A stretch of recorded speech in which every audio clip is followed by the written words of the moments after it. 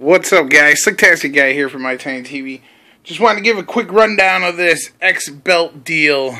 Uh, been talking with a lot of people in the group. They've been having a lot of trouble with this and having Z wobble.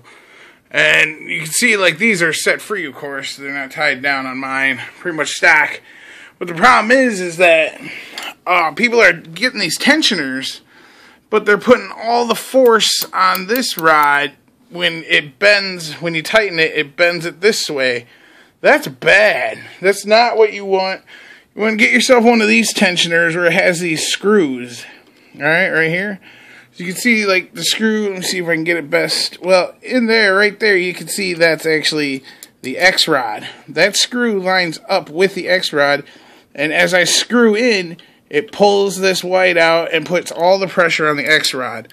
None on the Z because that's that's bad. That's how you get the the bends, and next thing you know, they're not straight at all. You can see this side's just stock, you know, the motor and everything. You know, I made sure that it was pretty straight by looking that way. You can see that, you know, they, they this belt channel lines up pretty good. Otherwise, adjust your little grub screws here. There's a grub screw there. There's another one too. You know, adjust those a little bit. I like to uh, do this one first. You can see on the flat edge, you know, and then this one.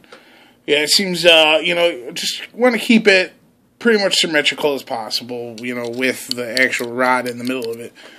But yeah, you go across, you can see that the belt is pretty freaking tight right now. Um, you hear that wobble, you know, the real tightness, the twang. You know, I did have an old setup. This screw is actually for nothing. It's just to take that screw out, you have to take out this, and I'm not doing that. So I kind of just left it in there, put the uh, nut back on the other side. It's not bothering anything. You can see, actually, the inside right here, that's part of the tensioner.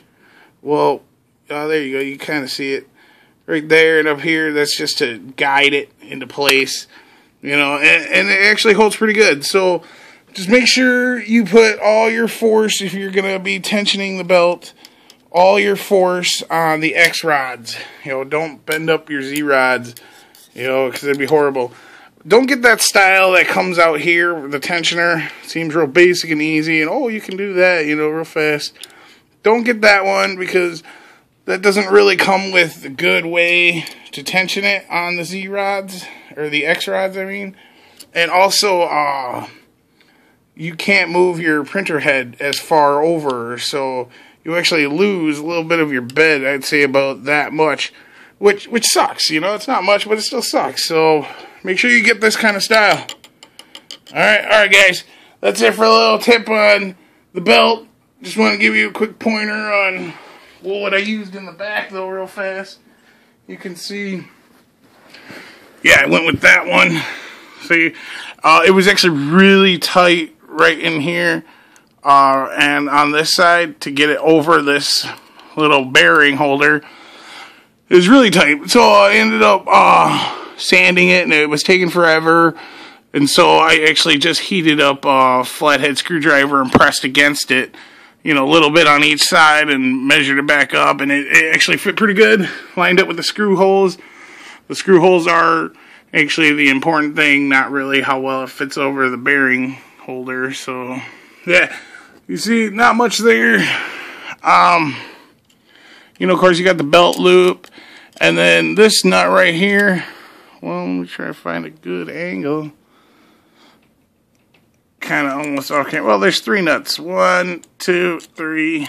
Man, I need a better camera. And there we go. Well, this one, the inner one, I actually put a washer.